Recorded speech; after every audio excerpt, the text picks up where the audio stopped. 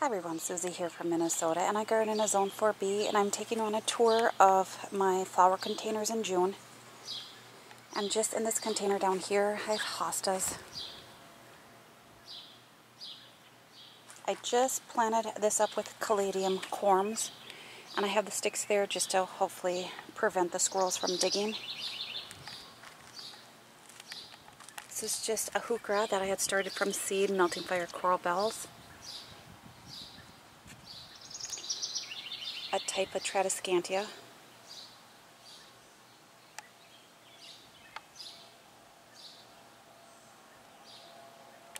Uh, Swedish ivy. It's in the 80s today. Humidity is pretty high. Um, Tuesday they're talking, I think, 95, and then by the weekend, uh, 99. It's a far cry from the 60s and 70s we've been having these plants are going to throw a fit. They're not used to that, and that came on real quick.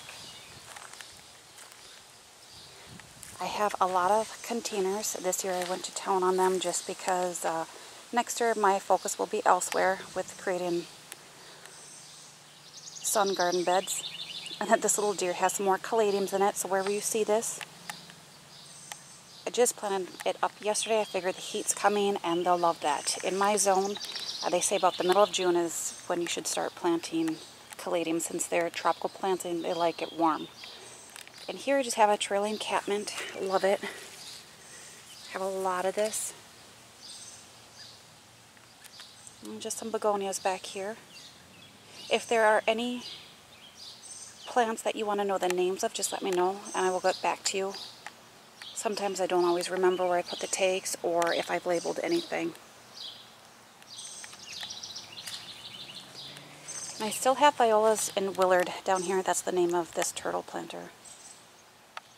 I'm going to see if they make it. I'll give them a couple weeks, see what happens with this heat we have. All my pansies are gone. They were not looking the best, unfortunately.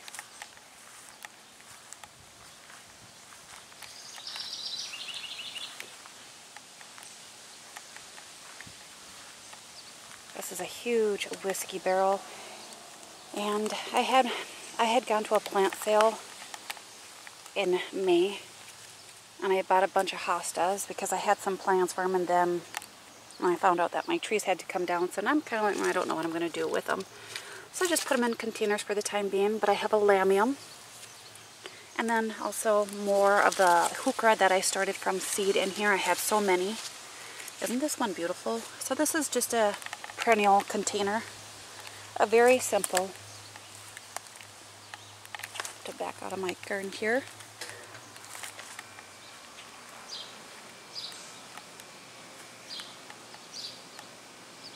But I do like that. And there's something about that hooper there. I don't know the name of it because it just came in a package of seeds called hybrids. Kind of looks like spearmint, but a little different.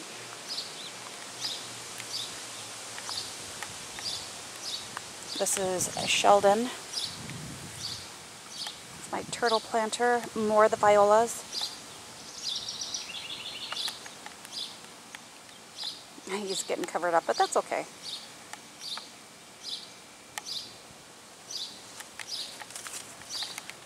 And then where you see this, where I have these on, that's also more caladiums. So hopefully within about a week here, I can take those off. Just bare soil with squirrels is not a good thing. More of the Tradescantia. I do have some caladiums planted here. We'll see if they come up before this really fills in. It's doing really good over here.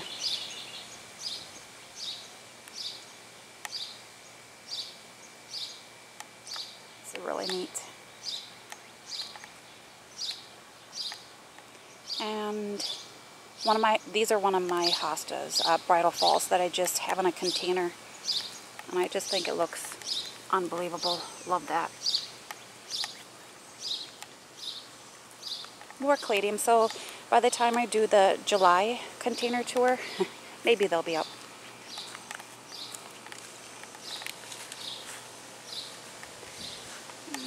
We'll go, oops, there was a ladybug on my finger.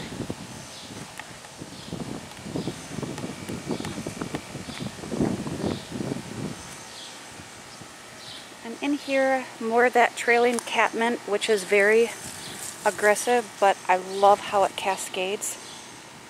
It's becoming one of my favorites. And then more seeds I started, Heuchera, the Palace Purple. I just thought it would look really nice in here.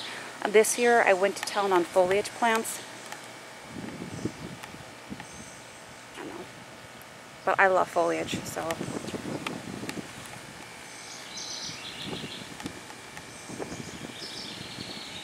Sorry about that wind. But it does feel lovely. And then in here I just have Tahitian Bridal Veil along with more Tradescantia. These were cuttings of mine. They burned a little bit, so we'll see. That They'll be good here in a little bit. And more of the Palace Purple Heuchera.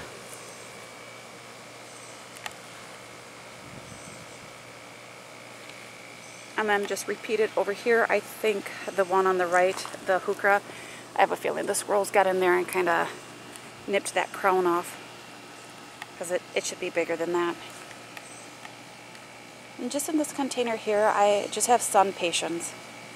I think it's tropical white. I think that look really good in here. I was thinking about putting some caladiums, but I feel like this will fill them before the caladiums have a chance to come up.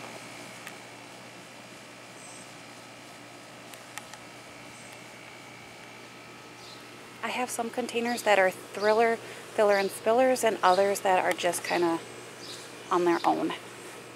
And then just repeat it down here. Like I said, I just love this.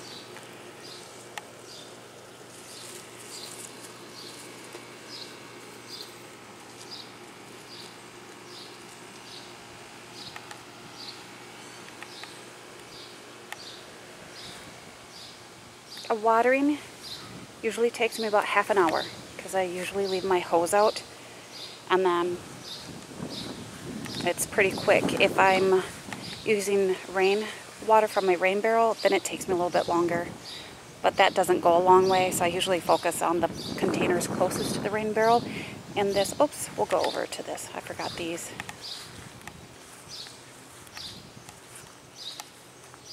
got a coleus in here.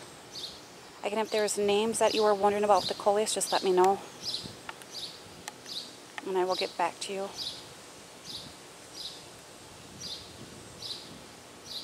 And then back here when I planted this up, this shrub here was not this tall. It was probably about a foot and a half. So I have a coleus in there along with a dahlia. And there's other stuff in there. I It's just going to get shaded out. But we'll see what happens here.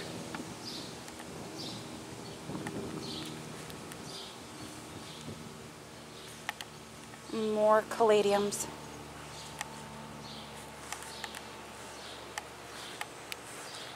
I don't ever buy caladium plants. They're too expensive.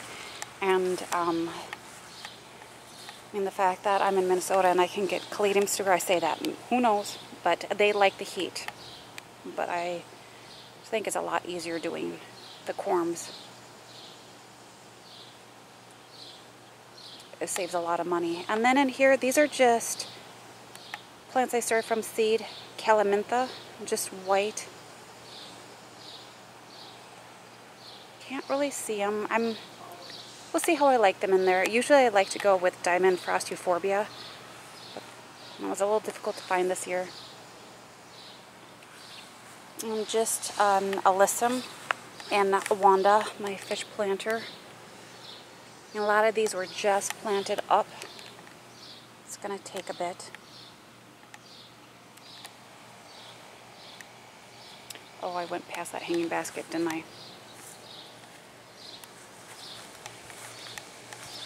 just in here, and I don't know if it's going to do anything before this heat comes.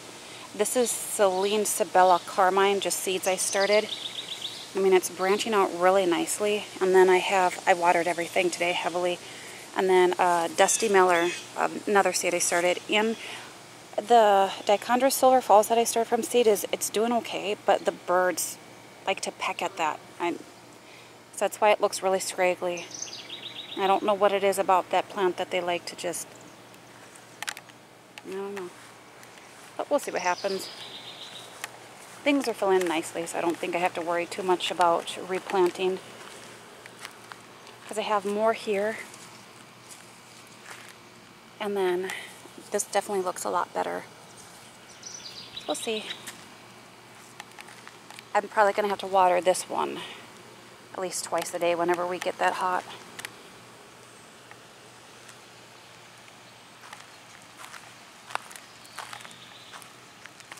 Over here, I just kind of have a small moon garden going.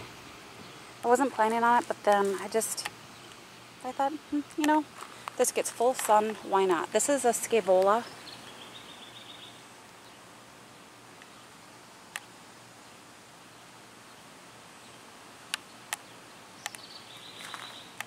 And more Calamintha, the white, along with Dusty Miller along the sides, cut in the middle. And then in back, that's a Datura, Ballerina White.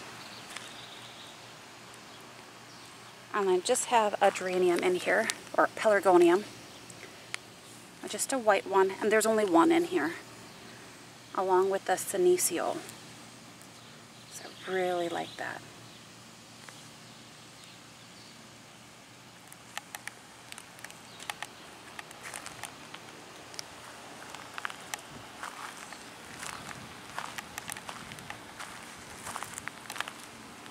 Have a slow release fertilizer in all my containers. And I do like to use or reuse old potting mixes. And just because it's cost efficient.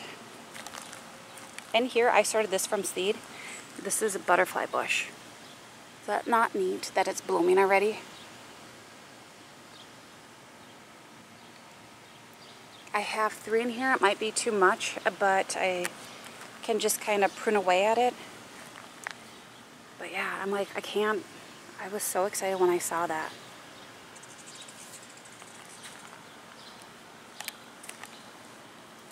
This is Browallia Blue Lady. It gets huge and then it cascades. So it's doing really good here. This one is a bergamot, a bee balm. It said it takes about what, 10 weeks from seed to bloom. Sure is taking its sweet time. It definitely filled out this container, so there is that. So I'm, I'm hoping I see some blooms this year. And that is just uh, Dahlia I started from seed. It's, it's a little yellow, but I just planted that. It was in the can too long. This container right here is, this is kind of my um, 4th of July container. Hopefully it is blooming by the time 4th of July is here. So this is my red. And then this is supposed to be a blue salvia. So fingers crossed. And then Orlaya in the back. And I figure if the Orlaya is not blooming and it's white, then at least the Dusty Miller can be kind of my white plant in there. So we'll see. It's, it's filled out really nicely. Where you see this, it's um, I was a little quick at hardening it off, so that's a little scorching on there, but it should pull through. And then I have a Persian shield over here.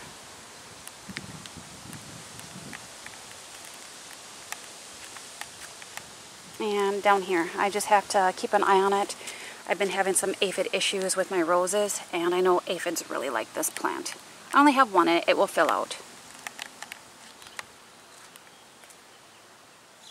And more caladiums.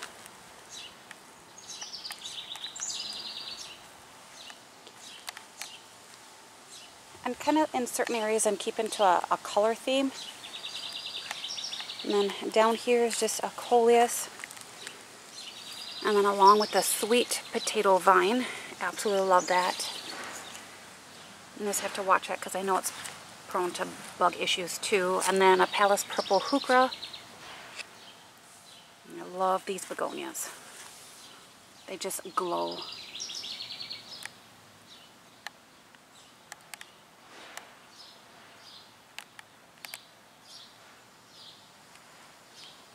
And then in this container here, I think this is, I have my tags right here, so this one I can get to. This coleus here is a kiwi fern. And then I just put some more melting fire coral bells in there, more of my seeds. And then this right here is just a sedum golden lemon. Alabama sunset coleus. And this is pineapple beauty. So I can't wait to see how that fills out.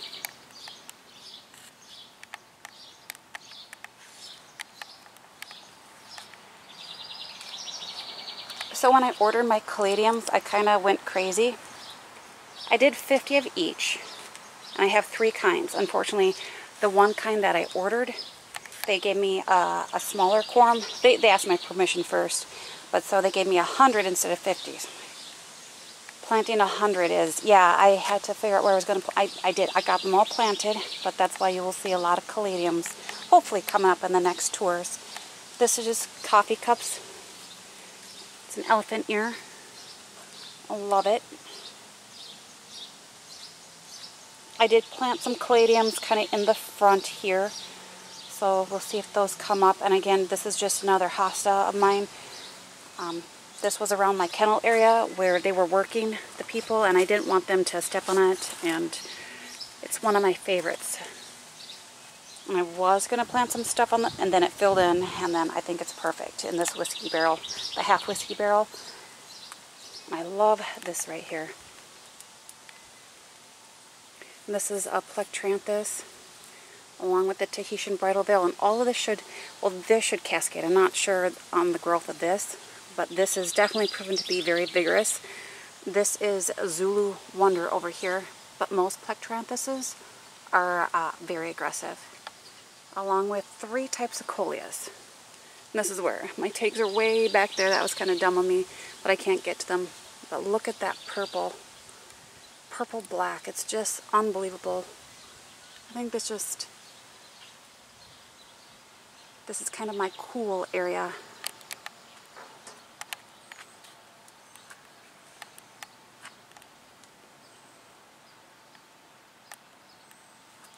And then here, this is a kiwi lime elephant ear.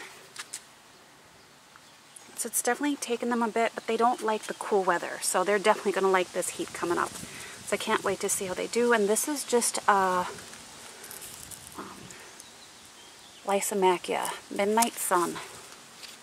I'm hope I kind of put some back here so it just kind of cascades over this whole container.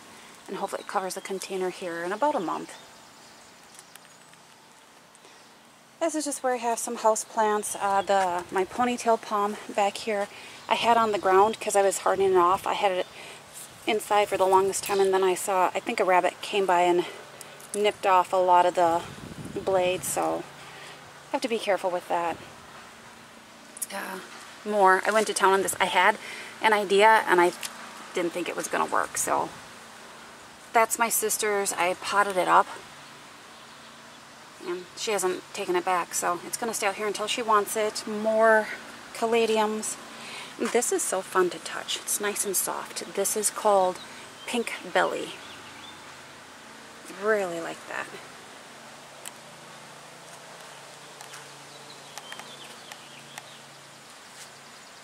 I thought this was so pretty. They didn't have any of these in four inch containers and this is just a begonia but they had it in this size but this makes kind of a cute little tabletop centerpiece.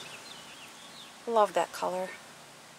Um, I had a tag somewhere.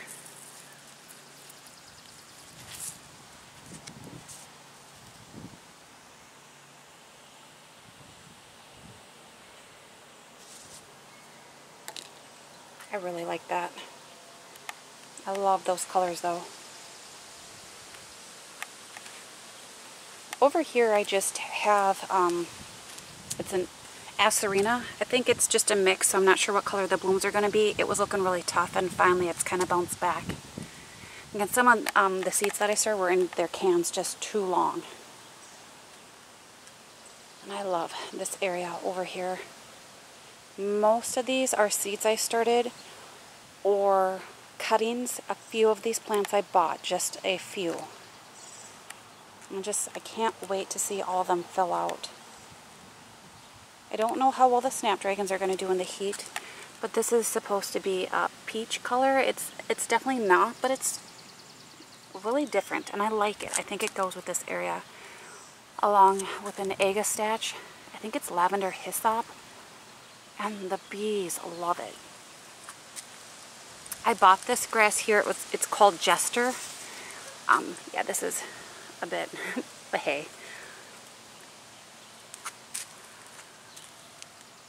Down here, this is one that I really like, and this is Limon Talinum. It, uh, the leaves, I can't explain. It feels like a succulent. So, can't wait to see what these flower heads look like. And more Purple Prince Alternanthera. This is one I bought. This is a Cuphea Honeybells. Just love. I think it'll look really good with all the colors over here. And then a Coleus. Back here I have Black-Eyed Susan vine. It's called Blushing Susie. It's taken a bit. So it is just starting to climb. So I have I have five in there. But again, they're really tiny. I don't know how this is going to work. These are seeds I. This is a penstemon. I said you can grow it as an annual, but it's taken its sweet time. Looking better, but I'm going to give it another two weeks. If not, I'll probably put something else there. Because it should be, I was hoping about three feet tall. And just uh, melting fire coral bells. I had so many I had from seeds, so I just thought, you know what, they'll, they'll do good. Dusty Miller. I think it's Silver Dust. Oh, I have just a zinnia here. I forget, uh, is it Apricot Profusion? This one's really neat too. This has taken a bit, but finally, again, this is Joey Lambstail. Is that not neat? And again, it's, the leaves are really thick. It feels like a succulent.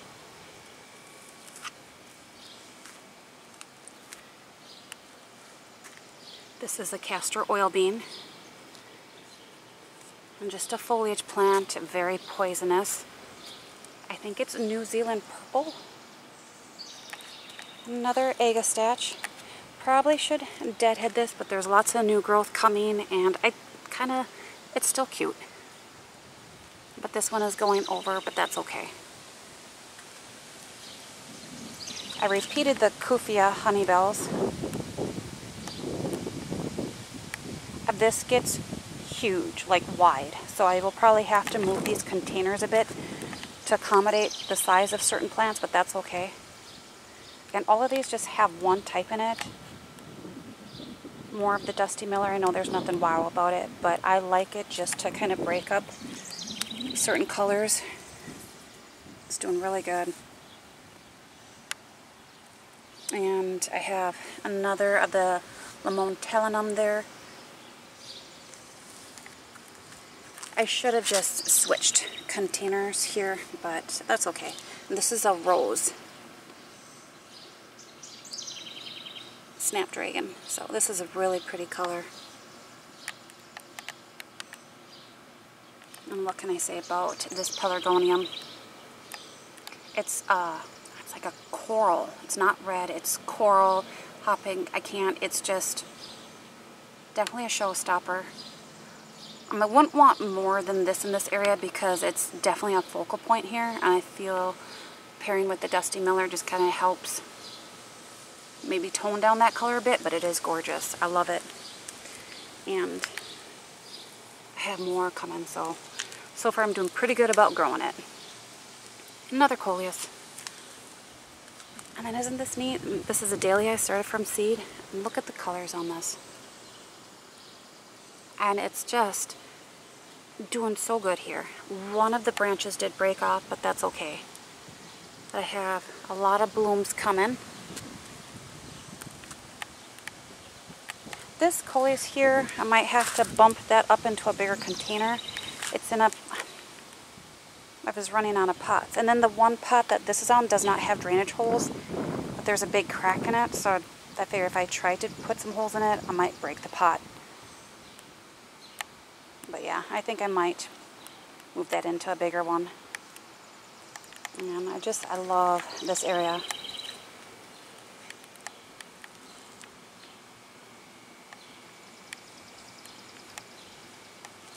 I still have some more of my cuttings.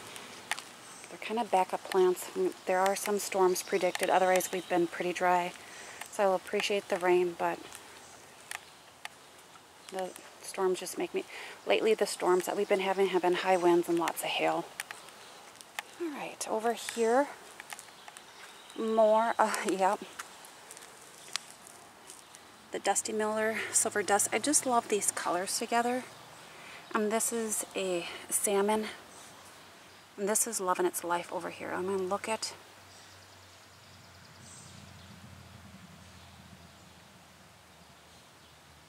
the slow release fertilizer I'm using is Osmocote.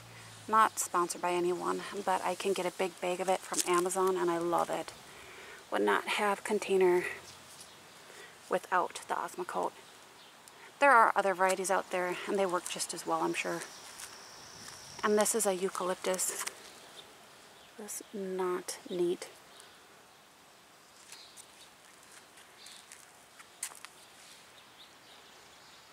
And this is Tattoo Tangerine Vinca. Look.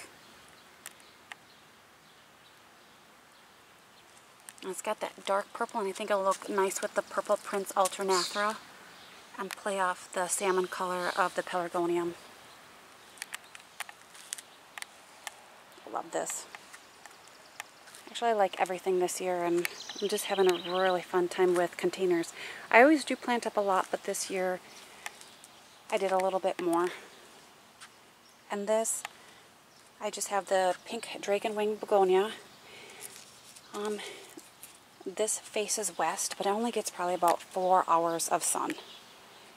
Maybe five tops. So it, it's not something you would call a full sun area, but the sun beats off the side of the house and kind of, yeah, it's a little intense. Along with the cordyline, look how pink that is. And then I have caladiums planted in amongst here. Hopefully they can hold their own before all this really grows in. I know I've seen some starting to come up, but in this black container against the house and the west sun, yeah, it gets really hot. And then the Dichondra silver falls. And then all three of them are planted like that.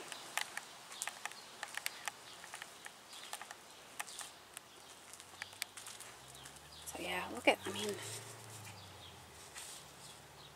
I'm hoping the camera is picking up the beauty of this. I just, oh, love it. All that was on the tag was, uh, did I say cordyline? Cordyline. So didn't say the variety, unfortunately.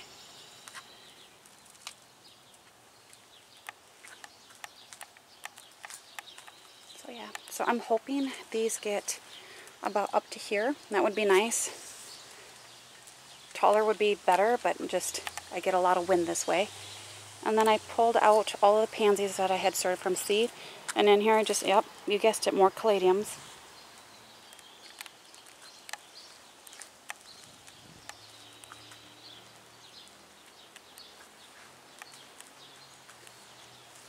So yeah, so those are my containers. I never know if I'm going to add any more.